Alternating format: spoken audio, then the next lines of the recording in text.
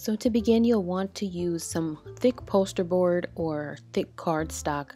And I'm just using this poster board that I had left over from another project and I'm cutting out the shape of a heart. And I'm just trimming off the edges to make it the exact size that I would like it to be. And then I'm putting it um, in position on one of the mason jars. And then I'm making a second one of these to go on the other jar so I can work on them both at the same time. And because this is going to get covered with paint and probably not be um, able to be used again. So here I am just cutting off the second heart.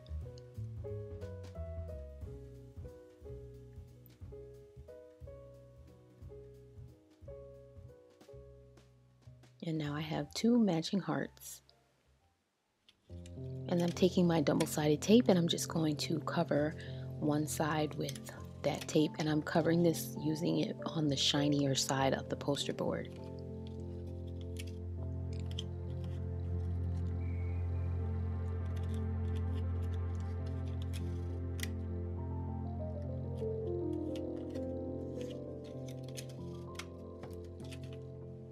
And once the heart was completely covered, I cut the excess tape off of the edges.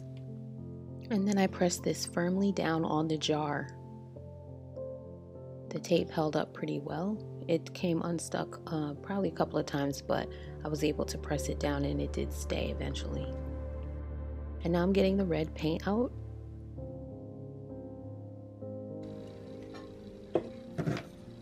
Just poured this into the cap as you see here and now I'm just painting right over the heart and all over the rest of the jar.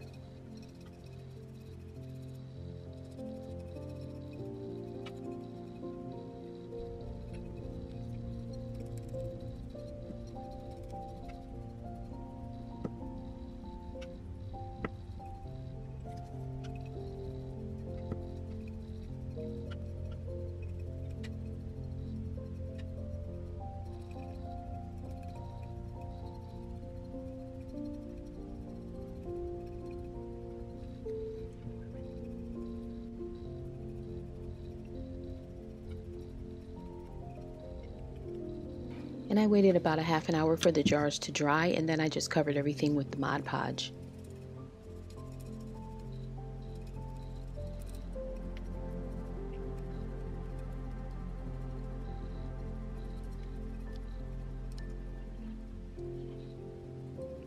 And I immediately followed this up with the red glitter.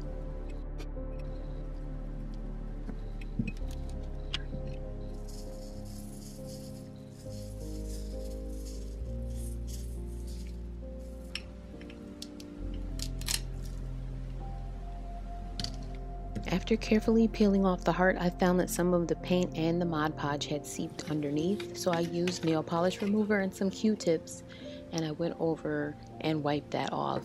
You could either use this and um, or some alcohol would probably work fine too.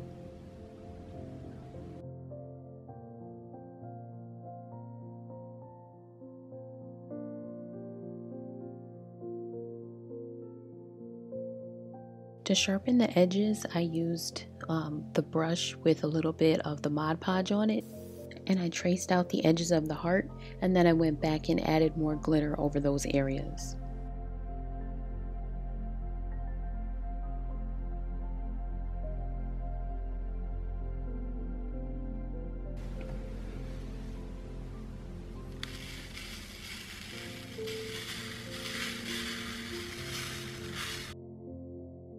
And this is how it looked when both jars were complete.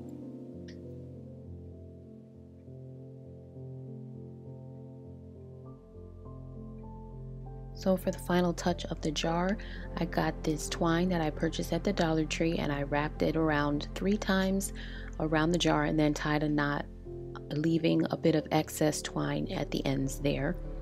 And then I used that um, twine and wrapped it around two fingers so that I could create a bow out of it. And I think I wrapped this around about five times.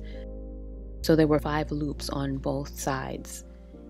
And then as you see here, I'm just tucking it in and then cutting off the extra part. And then I'm just gonna tie this directly to the jar with those extra strings that I left hanging. And then cutting off the remainder and then adjusting the bows as you see here and this is the final result. So the very last thing I did was to add the pixie lights into each jar and then I display them on my shelf as you see. So this is the final outcome. I hope you like it. If you do, please give this video a thumbs up and please consider subscribing. I make videos every week. I'm continuing with one more video in this love or Valentine's Day decor series.